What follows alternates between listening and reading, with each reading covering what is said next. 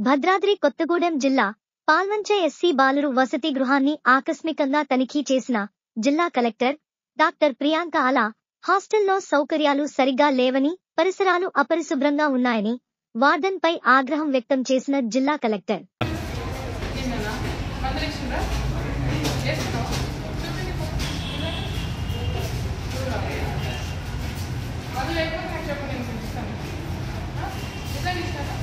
A colour